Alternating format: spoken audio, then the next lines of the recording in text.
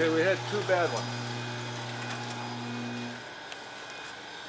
But that's all the small one, right?